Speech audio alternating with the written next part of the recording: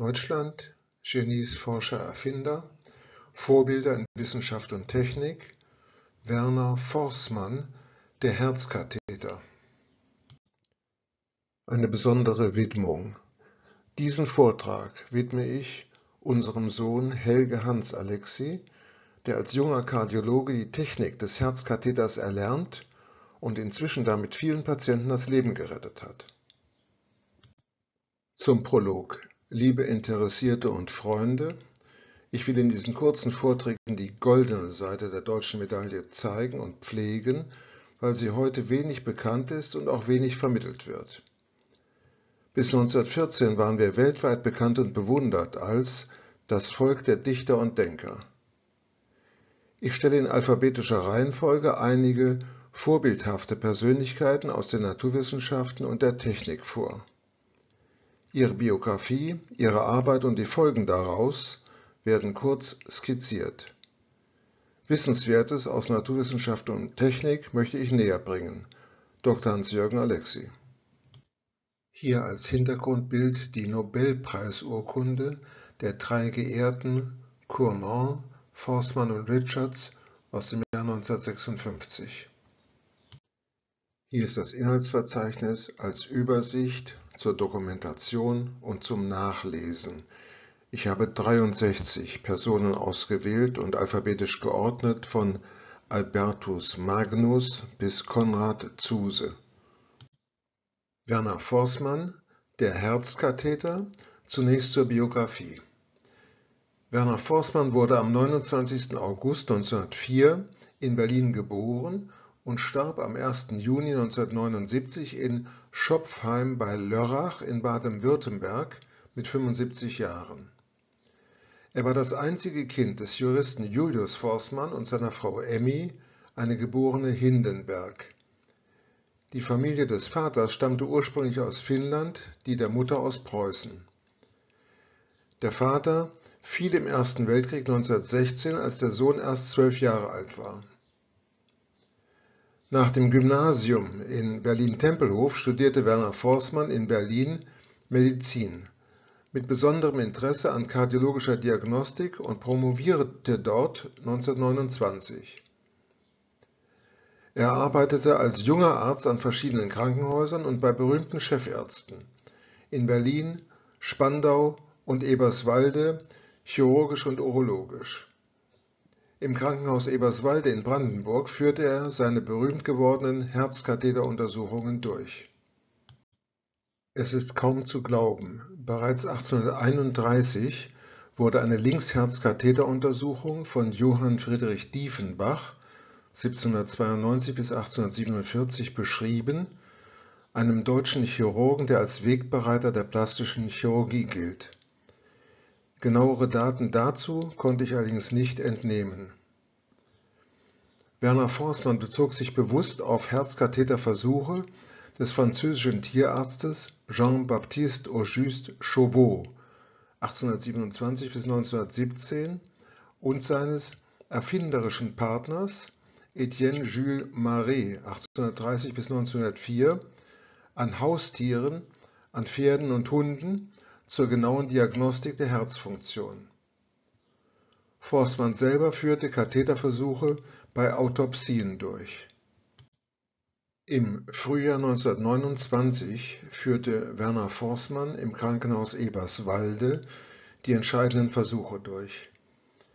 Er schob sich im Beisein einer Chirurgieschwester einen sterilisierten Blasenkatheter aus Kautschuk unter Durchleuchtungssicht von einer Vene des linken Armes bis zum rechten Herzvorhof und dokumentierte dies auch durch ein Röntgenbild.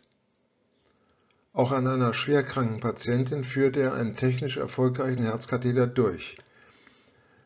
Diese Publikation und seine Vorträge fanden aber wenig Beachtung in der medizinischen Fachwelt.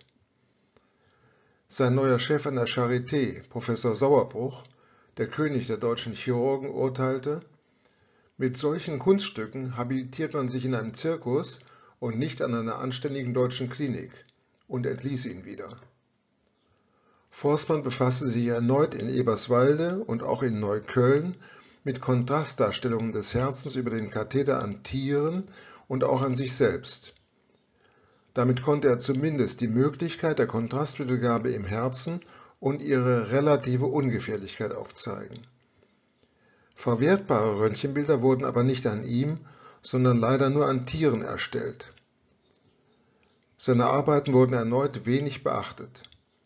Er arbeitete in der Folgezeit in Mainz, Dresden und Berlin-Moabit als Urologe und Chirurg. Während des Krieges war Werner Forßmann Sanitätsoffizier an mehreren Abschnitten und zuletzt chirurgischer Leiter des Lazarettes Neuruppin bis 1945. Eine solche militärärztliche Tätigkeit ist nicht zu beanstanden, wenn kein Fehlverhalten vorliegt. Er war seit 1932 NSDAP-Mitglied, behandelte aber zum Beispiel 1938 trotz Verboten auch verletzte Juden nach den Pogromen, was zu Konflikten mit der Partei führte. Zu dieser Zeit bestehen wenig neutrale Quellen. Das meiste beruht auf seiner Autobiografie und ist daher kritisch zu betrachten und zu würdigen. Nach dem bisherigen Kenntnisstand ist aber kein persönliches Fehlverhalten bekannt. Nach amerikanischer Gefangenschaft und sogenannter Entnazifizierung hatte er mehrere Jahre Berufsverbot, da er Parteimitglied war. Ab 1950 arbeitete er erneut als Facharzt für Urologie in Bad Kreuznach zusammen mit seiner Frau und später in Bad Dürkheim. Nach dem Wechsel in die Chirurgie und Urologie, etwa Mitte der 30er Jahre, führte er keine kardiologische Diagnostik mehr durch.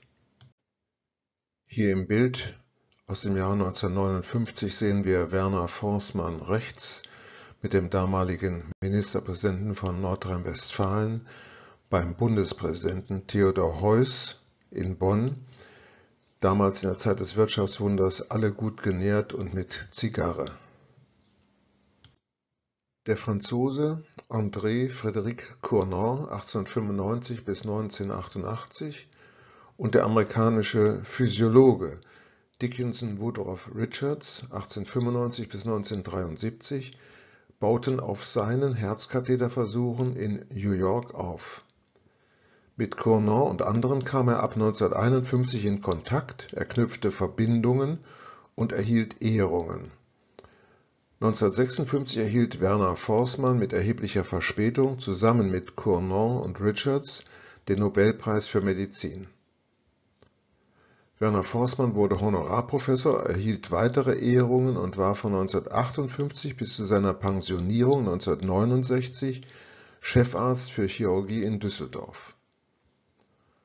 Mit seiner Frau Elisabeth, eine geborene Engel, die er 1933 heiratete und die ebenfalls Fachärztin für Urologie wurde, hatte er sechs Kinder. Ein Sohn entwickelte als Physiker die extrakorporale Stoßwellenlithotrypsie bei Dornier mit. Ein weiterer Sohn wurde Professor für Anatomie in Heidelberg.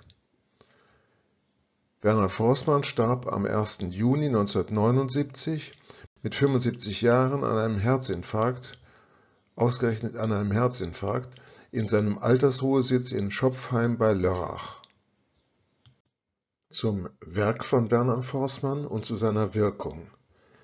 Nach seinen mutigen und lebensgefährlichen Herzkatheter-Selbstversuchen 1929 führten nur noch einzelne Ärzte solche Untersuchungen durch und dabei auch die ersten intrakardialen Messungen. Die Methode geriet fast in Vergessenheit. Die Co-Nobelpreisträger Cournant und Richards recherchierten seine Publikation, bauten darauf auf und maßen 1945 das Herzzeitvolumen mit dem Rechtsherzkatheter, hier im Bild ein moderner Rechtsherzkatheter. Nach 1949 gelang es Cournant als erstem, einen Katheter bis in die Lungenstrombahn vorzuschieben. Weiteres zum Werk von Werner Forßmann und seiner Wirkung Ab etwa 1940 setzte sich die Methode der Herzkatheterisierung weltweit durch und wurde durch die Angiokardiographie mit Röntgenkontrastmitteln ergänzt. Die Methode ist heute diagnostischer Standard und hat unzähligen Herzkranken das Leben gerettet. Bereits Forßmann hatte damals mit Kontrastmitteln experimentiert Ganz im Vordergrund steht die Herzkatheteruntersuchung heute als lebensrettende Notfallmaßnahme bei frischen Herzinfarkten. Dabei kann im günstigen Falle das verschlossene Gefäß wieder rasch genug eröffnet werden und es verbleibt am Herzmuskel kein dauerhafter Schaden.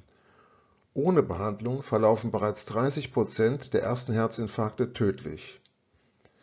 Im Folgenden ein schöner Film des ZDF bei Terra X über die Entstehung eines Herzinfarktes. Ein Herzinfarkt kommt plötzlich oder kündigt sich ein bis zwei Tage vorher an. Der Ursprung kann eine koronare Herzerkrankung sein. Dabei kommt es zu Durchblutungsstörungen der Herzkranzgefäße. Diese versorgen das Herz mit Sauerstoff und Nährstoffen. Der Blutstrom wird durch Kalkablagerungen in den Herzkranzgefäßen gestört. Diese Arteriosklerose kann im schlimmsten Fall zu einem Herzinfarkt führen. Die Ablagerungen brechen auf und blockieren den Blutfluss. Nach einigen Minuten sterben Teile des Herzmuskels ab, weil die Sauerstoffversorgung ausbleibt. Ein Herzinfarkt wird begleitet von Angstzuständen und starken Schmerzen. Er kann zu einem lebensbedrohlichen Kammerflimmern führen. Die Pumpleistung ist gestört. Das Herz versucht mit immer mehr Schlägen den Blutkreislauf aufrechtzuerhalten, bis es versagt.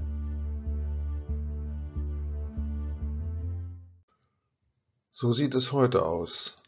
Ein Herzkatheter mit einer Koronarangiographie, also mit Kontrastdarstellung dieser zarten Herzkranzgefäße bis in die Peripherie, in diesem Fall die linke Kranzarterie mit zwei erkennbaren und gefährlichen Engstellen. Die Drahtschlingen am Brustbein sind eine Nebensache. Und heute kann man auch etwas machen, kann man helfen, therapeutisch etwas tun, durch den Herzkatheter. Auf der linken Seite eine Koronarangiographie, in diesem Falle der rechten Kranzarterie. Sie ist verstopft, sie bricht plötzlich ab. Die Folge wäre in kurzer Zeit ein großer Herzinfarkt mit allen Folgen. Auf der rechten Seite das Bild nach einer erfolgreichen Koronarangioplastie, PTCA, also einer Wiederherstellung des Blutflusses. Das geschieht durch einen Ballon, der unter hohem Druck aufgedehnt wird und das Gefäß wiederherstellt, in den Händen von geschickten Kardiologen. So können die Folgen eines Herzinfarktes vollständig vermieden werden. Ab den 1970er Jahren verließen die Herzkatheter den reinen diagnostischen Raum und brachten therapeutische Hilfe. Es wurden Ballonkatheter entwickelt, hier im Bild ein solcher Therapiekatheter mit einem Ballon in der Mitte und einem darüber gezogenen Metallgitter-Stent, auf Deutsch eine Gefäßstütze für die Gefäßinnenwand. Mit diesen Ballonkathetern konnte man krankhaft verengte Gefäßabschnitte durch Aufblasen des Ballons, allerdings unter starkem Druck, weiten und wieder eröffnen. Die PTA, die perkutane transdominale Angioplastie, das Prinzip der Bougierung, der Aufdehnung nach dem Amerikaner Charles Dotter. Hier noch einmal ein Schema dieser Maßnahme, die so einfach aussieht, aber in Wirklichkeit natürlich sehr kompliziert und an mehreren Stellen durchaus gefährlich ist und erfahrene Kardiologen verlangt. Zunächst oben das verengte Gefäß mit den Ablagerungen an den Wänden, dann wird durch einen Katheter mit einem Druckballon, der erst an die entsprechende Stelle geführt werden muss, und unter sehr starkem Druck das Gefäß wieder aufgedehnt und die Ablagerungen an die Wände gequetscht, komprimiert.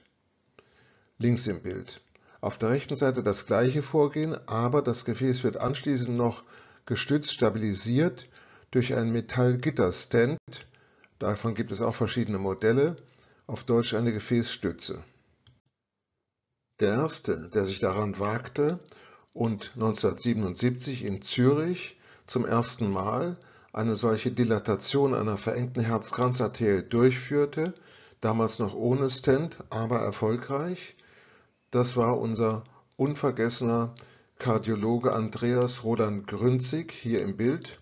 Er wurde geboren 1939 in Dresden und starb 1985 mit seiner Frau bei einem Flugzeugabsturz in Forsyth, Georgia, USA.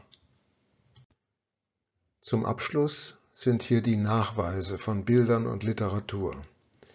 Ich verweise auch auf die übrigen Kapitel. Dieses bunte Kaleidoskop an Ingenieurwissen und Naturwissenschaften soll unseren Horizont erweitern und unser historisches Bewusstsein stärken. Denn es waren unsere deutschen Vorfahren, die sich genial, tüftlerisch und wagemutig gezeigt haben. Dr. Hans-Jürgen Alexi